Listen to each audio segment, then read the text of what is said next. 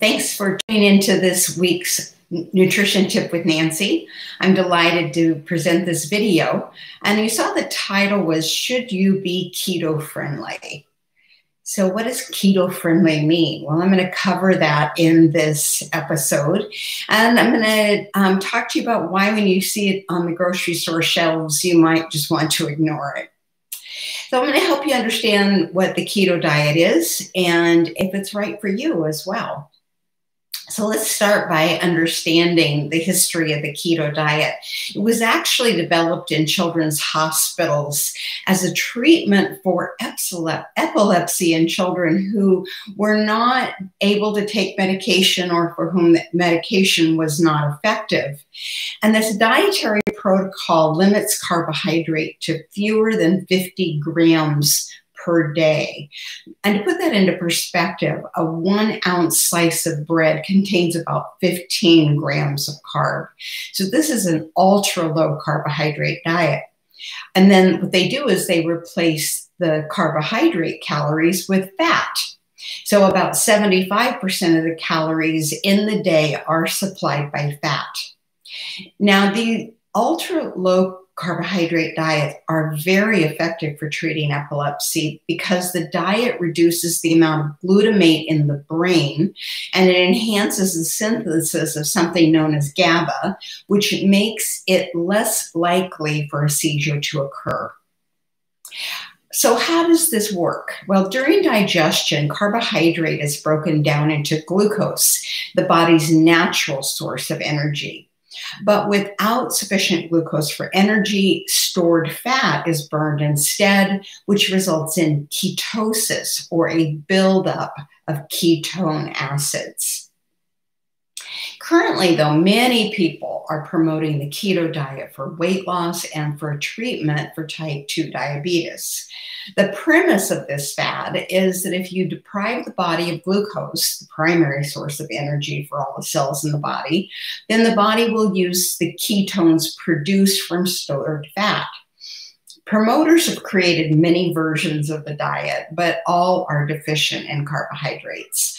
The strictest versions derive 5 to 10% of the calories from carb, 70 to 75% from fat, and about 20% of the, uh, the calories are coming from protein. And now many people do lose weight, though most likely the major contributor is to weight loss is not the burning of ketones, but rather this severe caloric intake because of the restricted food options.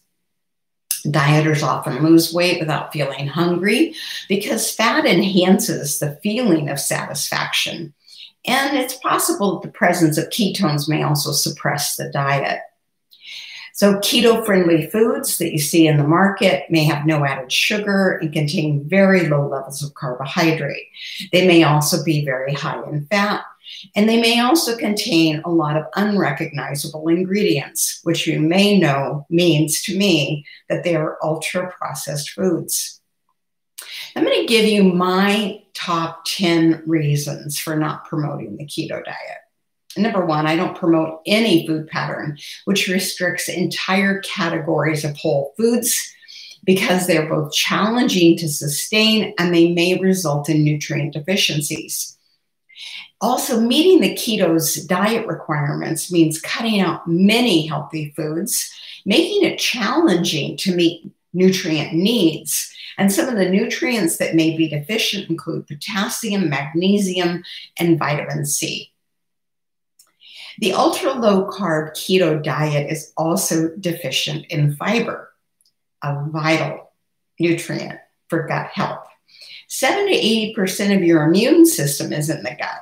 So without fiber to feed the gut bacteria, the immune system is suppressed in just a matter of days. Fiber is a form of carbohydrate. So you can't have adequate fiber and have a low carbohydrate diet at the same time. It's just impossible. All right, so now we're on to reason number four. In the short term, lack of fiber causes constipation. And in the long run, it can result in colitis and irritable bowel disease. Number five, Since no type of fat is restricted in the diet, the intake of unhealthy saturated fat levels can quickly harm the heart. The diet also increases LDL, that bad cholesterol in your blood, and not surprisingly so, because the diet can be very high in saturated fat. People like binge on bacon and butter and cheese because they're all high in fat. Number six, you know, this is probably my opinion rather than science, but I'm going to tell you it anyway. Just because the body can use ketones for energy doesn't mean it should in the long run. And from my perspective, the evidence is in the symptoms, which include headaches, bad breath, and something known as the keto flu. Number seven, once ketosis occurs, the body actually begins to lose muscle mass, and it can damage your most important muscle, the heart. There, this loss of muscle can be long lasting and thus have a harmful effect on metabolism, making it harder to maintain healthy weight in the future. Evidence suggests that extended periods of ketosis increases insulin resistance and promotes fatty liver disease.